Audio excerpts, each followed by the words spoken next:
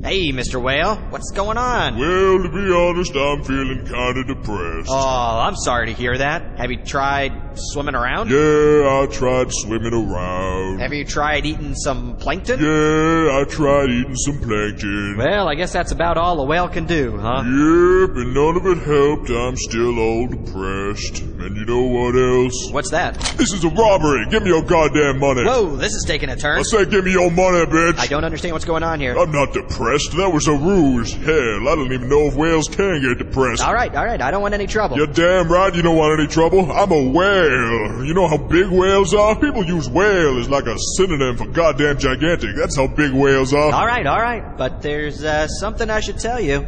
I'm an undercover cop. This is a sting. Oh man, that's some crap. So how's this gonna play out? The easy way or the hard way? I ain't going to jail, man. You know what they do to whales in jail? Nothing, because whales are goddamn humongous. But it's still an inconvenience. Well, maybe we can work something out.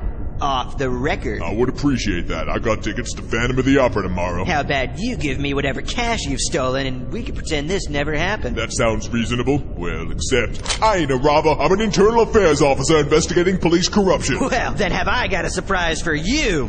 I'm not a cop. I'm a fry cook at Steak and Shake. I'll be honest, I don't fully understand where that leaves us.